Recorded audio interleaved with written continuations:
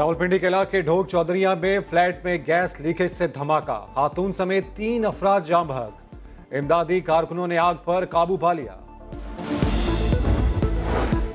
मुल्क भर में बारिश, बरसाने वाला नया सिस्टम आ गया। आज़ाद कश्मीर में बारिश और बर्फबारी का नया सिलसिला शुरू हो गया। वादी नीलम समेत माला इलाकों में बर्फबारी से मौसम मजीद सर्द। आज हजारा, मालाकंड, मर्दान, गिलगित, कोयटा कल्लात और जियारत में बादल बरसेंगे। नारायण कलाम चतराल सवात और स्कर्दू में बर्फ़ के गाले गिरेंगे।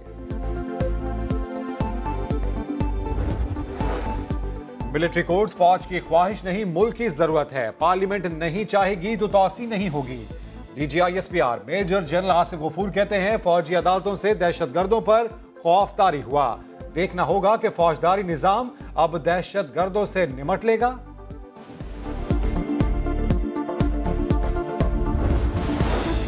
कराची में तैमूरिया पुलिस का मुख्तलिफ़ इलाकों में सर्च ऑपरेशन, दस मुलजिमान और बीस मुशतबा अफराद को हिरासत में ले लिया। असलहा मुंशियात और चोरी का सामान बरामद कलरी में संगीन मुकदमात में मुलविस मफरूर मुलजिम गिरफ़्तार।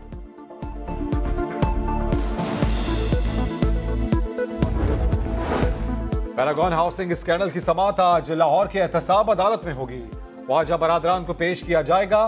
मुलजिमान का जिसमानी रिमांड खत्म हो रहा है। नैब की जानब से रिमांड में तोसी की दरख्वास्त मुतव फंड जारी हुए ना गाड़ियों को petrol, Sindh solid waste management और हुकूमत ने कराची को कराची बना दिया। योमिया बुनियादों पर कचरा उठाने का काम एक हफ़्ते से बंद, गली मोहल्लों और बड़ी शाहराओं पर हर तरफ़ गंदगी के ढेर। शहर में वबाई अमराज फैलने का खदशा।